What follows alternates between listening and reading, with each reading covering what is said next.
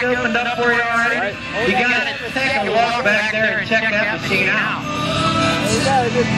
Not too many of them running around yet on the streets, but they're starting to peek out here and there. So if you haven't got the chance to get up close to a new GT40 yet, turn yourself. Here comes one cool little...